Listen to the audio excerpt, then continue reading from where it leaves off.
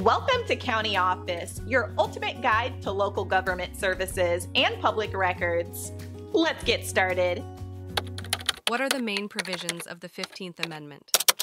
And the 15th Amendment to the United States Constitution, ratified in 1870, prohibits the denial of voting rights based on race, color, or previous servitude.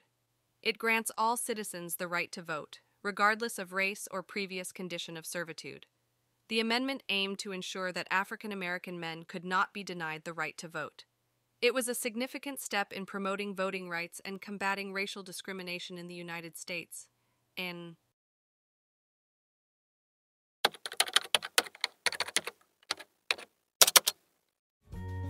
To learn more, check out these links, which you can click in the description below. And feel free to comment your questions. We're here to help. Thanks for tuning into our video. Please like and subscribe and leave a comment below. See you in the next video.